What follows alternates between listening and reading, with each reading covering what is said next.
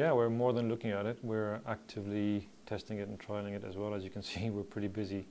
So uh, I don't know if you heard, but at the Commonwealth Games, we uh, were in collaboration with uh, with our partners, with the BBC, Qualcomm, and Huawei, and we were giving live demonstrations in Glasgow in the BBC uh, Innovation Centre.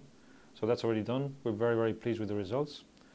Um, and we'll, uh, we'll continue demoing in other areas. I think the next area that we're looking at, not yet confirmed, but it's uh, Wembley Stadium. As you know, we've got, uh, we've got a very close partnership with Wembley. We're uh, focused on bringing the best of uh, the worldwide innovation technology to the Wembley Stadium as soon as possible. Commercial prospects, I think, are very interesting, especially because a lot of broadcasters are very interested in this. It gives a, it gives a guarantee of high quality of service uh, for video content and new applications uh, around the mobile broadcast uh, environment. So broadcasters are interested. I think there's a lot of other third parties who are interested in the commercial aspects. Uh, it can be used, I know in, in, the States it's been used for um, advertising purposes where you can actually give multimedia advertising content through 4G uh, with um, LTE broadcast to billboards.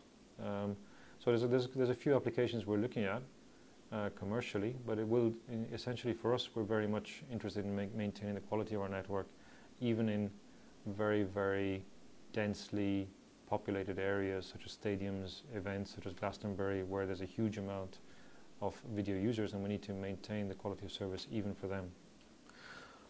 Well, I think it's going to have a massive impact. It's going to have a huge impact in the same way that 4G today is having a huge impact on, on the man in the street, where you know using your mobile over 4G for anything is, uh, is, is now the norm. Whereas with 3G, you would know that depending where you are, depending on the time of day, it may or may not be useful.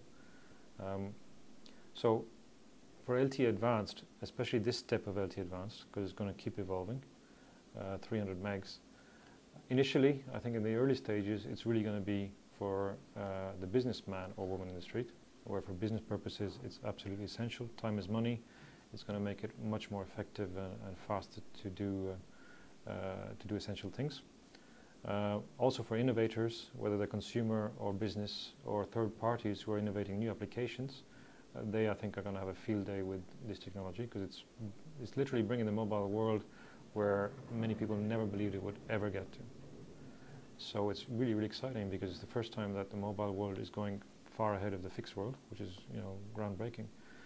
So we are very keen to get that technology in the hands of the innovators, especially in tech cities, so they can actually build those applications. Um, one of the things that we believe in LTE Advanced is that it, it is the enabler for 4K TV.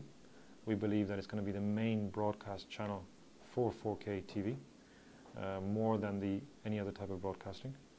Um, and you know, we really believe in 4K over 4G. That's going to be, I think, a key usage.